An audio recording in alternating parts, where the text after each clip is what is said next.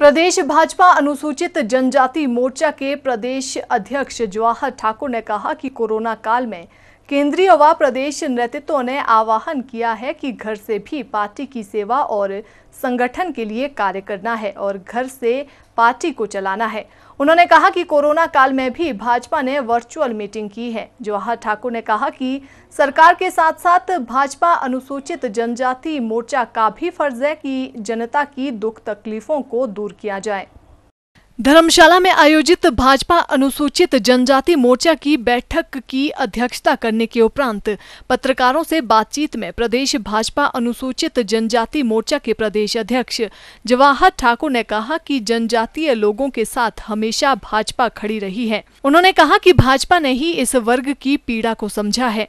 जवाहर ठाकुर ने कहा कि पूर्व प्रधानमंत्री वाजपेयी के कार्यकाल में जनजातीय मंत्रालय का गठन हुआ था। उन्होंने कहा कि धर्मशाला में आयोजित बैठक भाजपा के मिशन रिपीट के लिए मील का पत्थर साबित होगी। उन्होंने कहा कि बैठक में आगामी छह माह का रोड मैप तैयार किया गया है कि किस तरह से भाजपा को दोबारा प्रदेश में सत्ता में लाना है। उन्होंने कहा कि इसको लेकर विस्तृत चर्चा भी की गई और योजना भी तैयार की गई है। उन्होंने कहा कि बूथ स्तर पर मोर्चा को किस तरह पहुँचाया जाए, इसको लेकर भी बैठक में चर्चा की गई। जवाहर ठाकुर ने कहा कि प्रदेश में जब जनता को पार्टियों, कार्यकर्ताओं और नेताओं की आवश्यकता थी, उस समय विपक्ष के नेता घरों में सोए रहे और वर्तमान में विपक्ष द्वारा भ्रामक प्रचार किया जा रहा है, जिसका जवाब भी विपक्ष को देने की योजना बैठक के दौरान बनाई गई है। केवल भारतीय जनता पार्टी ऐसा एक संगठन था जो जब महामारी के दौर से गुजर रहे थे, फिर भी हमारे केंद्रीय नेतृत्व ने और प्रदेश के नेतृत्व ने आह्वान किया कि घर से भी पार्टी, सेवा और संगठन करना है और घर से पार्टी को चलाना है। आपने देखा होगा महामारी के दौर में भी भारतीय जनता पार्टी ने वर्चुअल बैठकें की वर्चुअल मीटिंगें की और हर कार्यकर्ता को संदेश दिया कि पार्टी सत्ता में है, केंद्र में भी सत्ता में है और हिमाचल में सत्ता में है। इसलिए हमारा फ़र्ज़ है कि लोगों के दुख दुख दुख दर्द में सहयोगी हो। हर चाहे जनजातीय मोर्चा का हो, चाहे भाजपा का कार्यकर्ता हो। हर आवश्यकता जिस कार्यकर्ता को पड़ी, जिस व्यक्ति को पड़ी, का भाजपा वहाँ पहुँची है।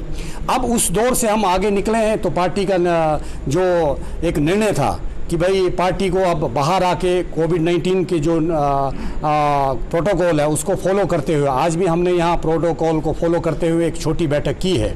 ये बैठक आ, 2022 मिशन रिपीट के लिए नींव का पत्थर साबित होगी।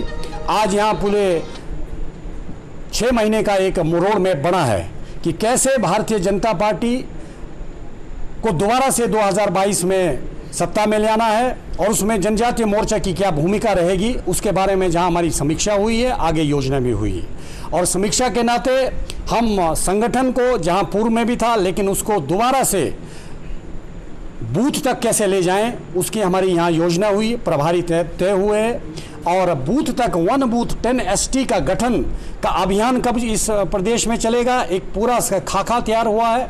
और प्रदेश और केंद्र सरकार की जो जनहितेशी नीतियाँ हैं और ट्राइबल की जो जनहितेशी नीतियाँ हैं, उसको कैसे लेके जाएँगे, इसका एक खाका तैयार हुआ है। सिटी चैनल के लिए धर्मशाला से नृपजीत निप्पी की रिपोर्ट।